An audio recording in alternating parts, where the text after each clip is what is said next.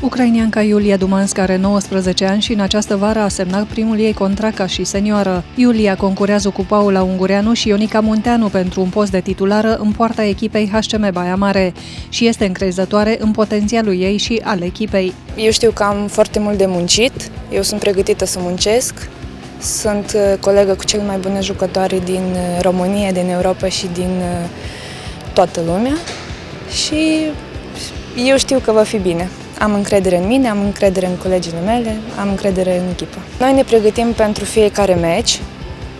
Vrem să jucăm handbalul pe care le știm noi, adică să jucăm bine și să ne pregătim pentru ce urmează, pentru turneul de calificare. Iulia Dumanska a făcut junioratul la clubul sportiv Marta și își dorește foarte mult cetățenia română pentru a putea evolua în reprezentativa de tineret.